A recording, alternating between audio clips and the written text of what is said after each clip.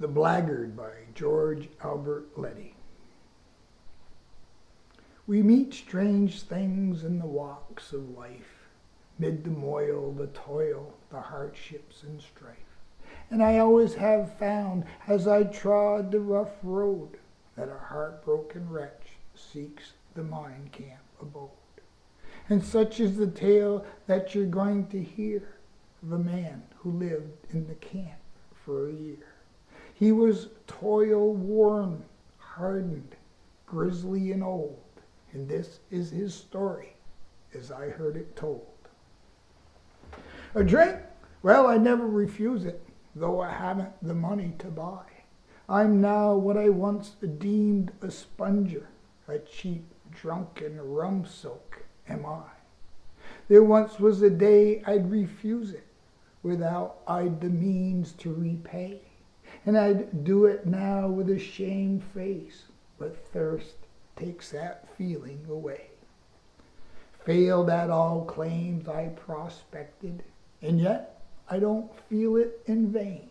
If someone will blow me a grub stake, tomorrow I'll try it again. The gold, no, 'twas not the gold that brought me. I sort of fell in, don't you see? I lived and I had to live somewhere, so I wandered up here to be free. Free from the hounds in their servants, hounds of a civilized law, hounds who would tear you to pieces, lapping the blood from their paw. Law, that's not law by a damn sight. It's hell, and no judgment is known. But I blocked them. Yes, damn them, I blocked them. When they came for my hide, I had flown.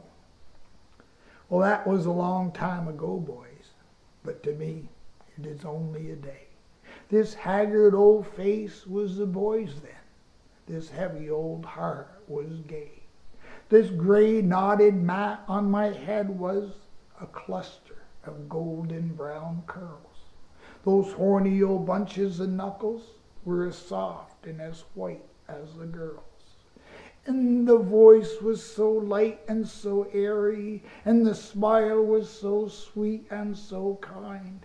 God, it don't seem that life could have changed so, such a life to the wrecked life like mine. We live in a small country village where people are few but all friends, where a man's life is built upon merit and a girl's on honor depends. There came into my life in my school days a face I now see in my dreams, a face so like that of a fairy's, a grace so like that of a queen. Together we bundled our books up. Together we strolled down the lane to the little old school on the hillside, and together we'd stroll back again.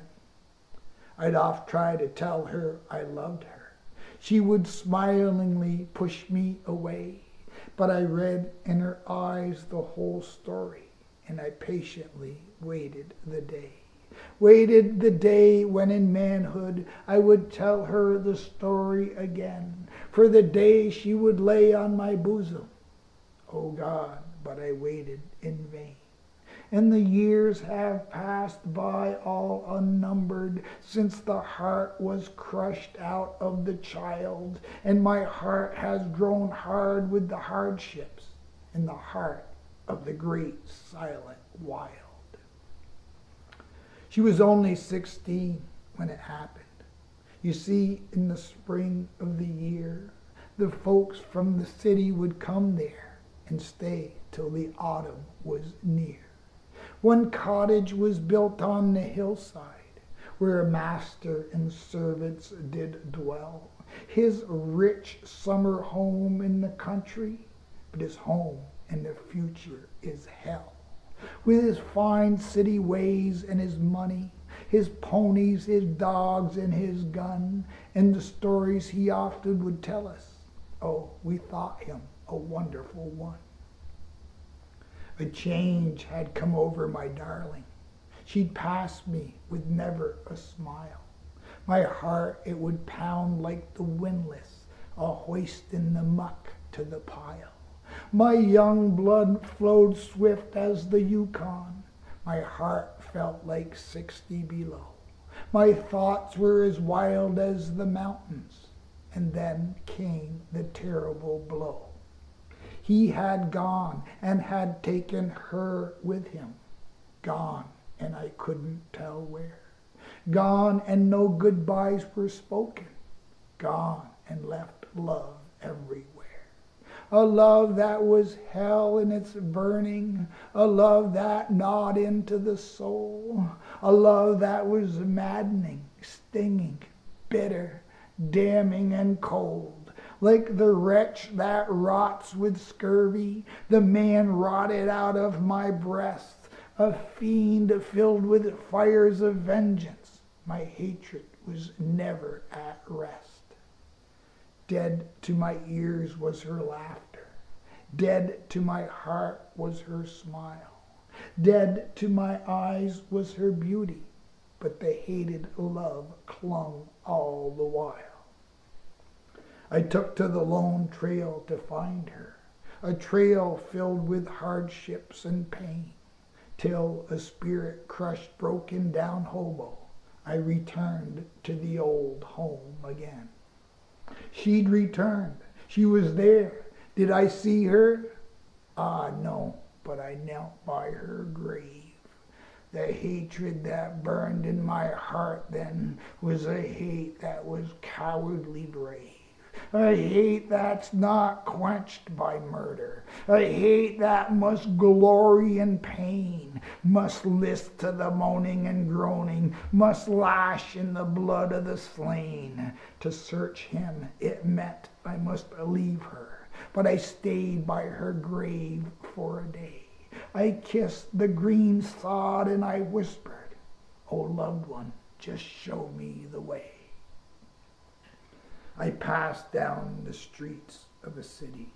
To me 'twas a wild raging sea, the turmoil, the hurry, the worry, the crowding as if to be free. Each face seemed the story of trouble that rode on that restless wave, then vanished away like a bubble, a mass moving on to the grave. As I thought of my love that was sleeping in that little green grave far away, I was caught in the whirl and jostled through the door of a swell cabaret. I sank to a chair by a table. Oh God, but I'll never forget. I sat face to face with my victim, o'er my brow came a cold, clammy wet. He smiles as he passes the bottle. I grin with a devilish glee.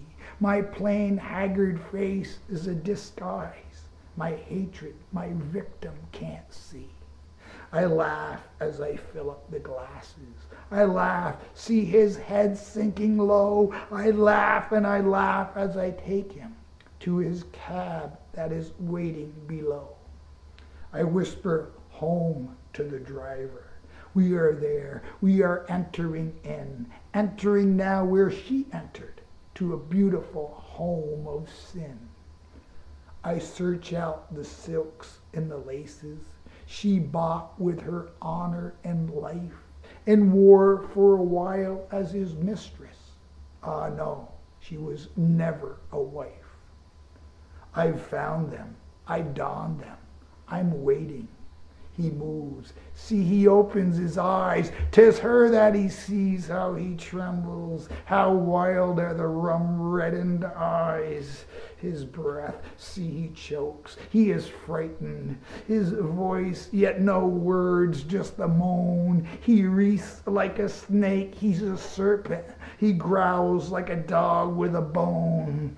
He swoons. Then the smell of the brandy, his eyes, they are opened again. He sees her still standing before him, a victim of immoral sin. He tears out his hair in his anguish. See him gnaw at his flesh. See the blood. He is mad. He's a wild, raging madman. Now he falls to the floor with a thud. And that is a long twenty years, boys. He's never known naught since that day.